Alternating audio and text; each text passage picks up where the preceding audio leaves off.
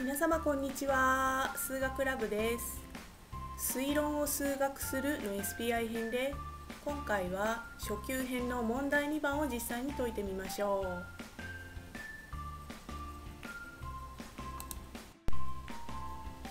ちなみに私は就職活動中の大学生の方や転職を考えている社会人の方のお役に立てるよう SPI の動画を投稿しています。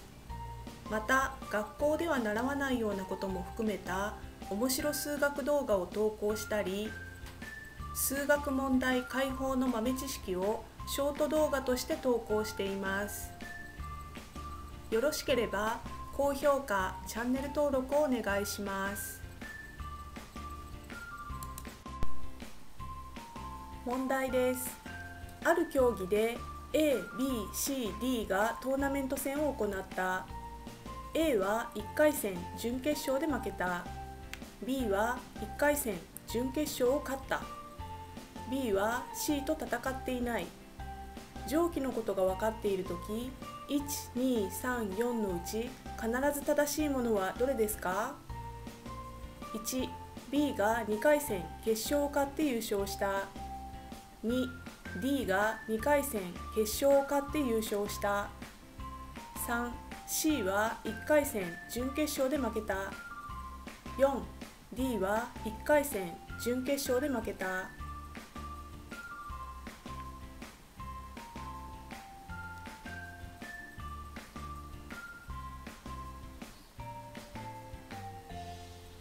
答えは3です。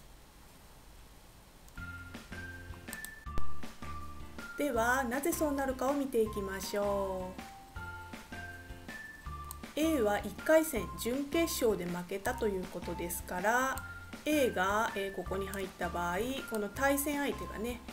勝ち上がったということが分かります。次に B は1回戦準決勝を勝ったということから A の対戦相手が B だった場合 B が1回戦をね勝ち上がってそうすると A は1回戦でね負けたということがえありえますのでこれ一つねパターンとして考えられます。そしてもう一つは A がここでえ B がこちらにねえ来た場合。え A は1回戦で負ける。そして B はえ1回戦を勝ってね2回戦に勝ち上がるということになります。で A の対戦相手がえ C または D でこちらがえ勝ち上がるということになります。そして B の対戦相手も C または D こちらは1回戦で負けたということが考えられます。そしてもう一つ B は C と戦っていないということから先ほどのね、こちらで考えていただくと、えー、B B はねえ2回戦まで行っています。で C と戦っていないということですからこちら C がね勝ち上がってしまうとここで B と C がねえ戦うということになりますから、えー、これはまずいですよね。ですのでえ D がた、え、勝ち上がるということになりますので一つこのパターンが考えられるということになります。ではこちらのパターンから考えてみるとえー、A の対戦相手が例えばここが C だった場合 C だった場合、えー、A は1回戦で負けますから、えー、C がねえ勝ち上がるということになります。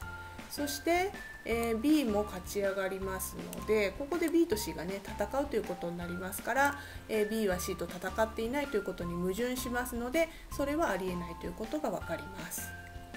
じゃあ、え A の対戦相手が D だった場合 D が勝ち上がります。そうすると B の対戦相手がこちら C になりますよね。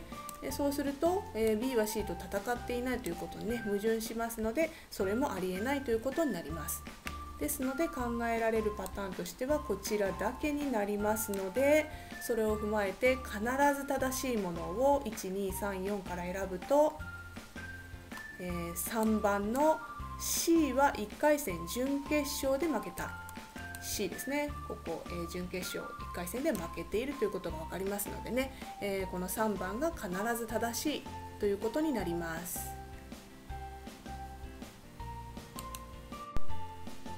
ではまとめです。推論を解く手法として三段論法を使うものや命題の対偶を取るものがあります。この命題と対偶の関係は真偽が一致するということですのでこれを利用して解く手法となります。他には対応関係を表で表したり代償関係を可視化して解く手法もあります。今回の問題はトーナメント表があらかじめ出ていましたのでその中に分かっていることを記入して解くという手法で皆様解くことはできましたでしょうか？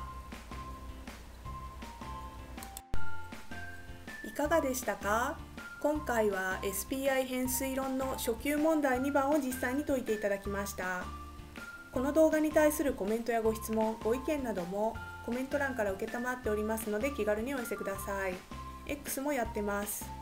そしてこの動画がいいな面白いなと思われた方は高評価とチャンネル登録をお願いしますそれでは最後までご視聴いただきありがとうございました。